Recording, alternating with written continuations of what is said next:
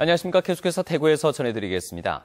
예, 대구는 오늘 미세먼지 농도가 나쁨 수준을 보였지만 내일은 농도가 더 낮아지겠습니다.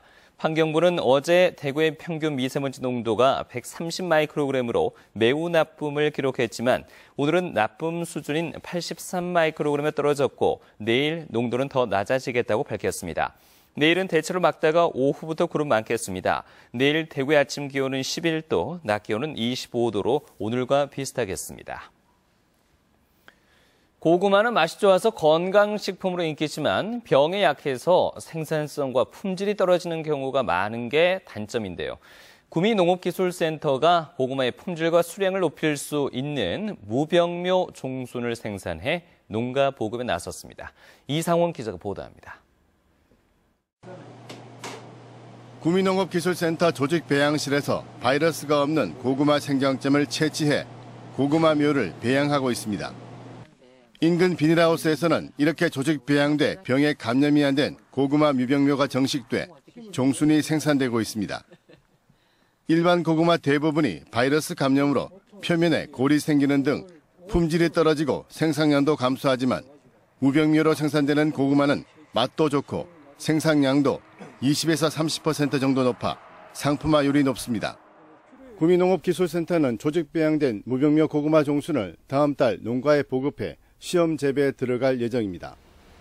최근 건강식품으로 고구마의 소비가 늘어나면서 구미 지역에서도 고구마를 새로운 소득 작목으로 육성하기 위해 유병묘 공급을 지속적으로 늘릴 계획입니다.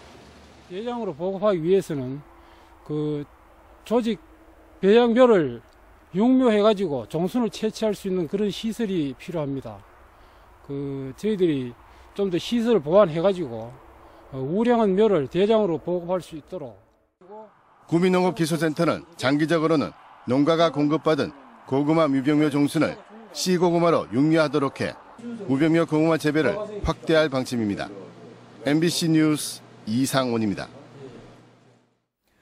오늘 오전 10시 10분쯤 포항시 남구 오천읍 길등제에서 해병대 1사단 소속 K-55 자주포 한 대가 전복돼 타고 있던 22살 김모 상병이 숨지고 21살 문모 하사가 다쳐 병원으로 옮겼지만 중태입니다. 오늘 사고는 자주포 18대가 야외 전술 훈련장으로 이동하던 중 한 대가 도로 옆 5m 아래로 구르면서 일어났고 타고 있던 나머지 대원 5명은 가벼운 상처를 입었습니다. 영천의 한 폐교 운동장에 폐기물이 불법 매립됐다는 대구문화방송 보도와 관련해서 영천시가 후속 조치에 나섰습니다. 영천시는 영천시 대창면에 한 폐교를 임대해 공장을 운영한 모 식품 제조업체 관계자를 조사한 결과 음료수 제품 재고와 쓰레기 등 15톤가량을 운동장에 매립했다는 진술을 받고 폐기물을 제거하도록 명령하고 회사 대표를 폐기물 불법 매립 혐의로 형사 고발 조치할 것이라고 밝혔습니다. 새누리당이 다음 달 3일 새 원내 지도부를 선출하기로 한 가운데 대구와 경북 의원들 중 3선에 오른 조원진, 강석호, 김광림, 이철우 의원의 도전 여부와 4선의 주호영 의원의 복당과 함께 주의원의 도전 여부에도 관심이 쏠리고 있습니다. 하지만 공천 파동으로 총선에서 참패한 만큼 원내 지도부에 대한 부담이 커서 상임위원장 도전 쪽으로 예, 방향을 틀 것이라는 전망도 나오고 있습니다. 한편 새누리당이 내일 국회에서 열 20대 총선 당선자 워크숍에서 유승민, 주호영 의원 등 대구 탈당파의 복당 허용 여부도 논의될지 주목됩니다. 특히 최경환 의원이 이 자리에서 전당대회에 출마할지 여부를 밝힐지도 주목되고 있습니다. 한편 이번 총선 참패를 계기로 친박계가 개파로서 사라질 가능성이 있다는 전망이 나오고 있는 가운데 유승민, 주호영, 최경환 등 지역 사선 의원들이 어떤 역할을 할지에도 관심이 쏠리고 있습니다.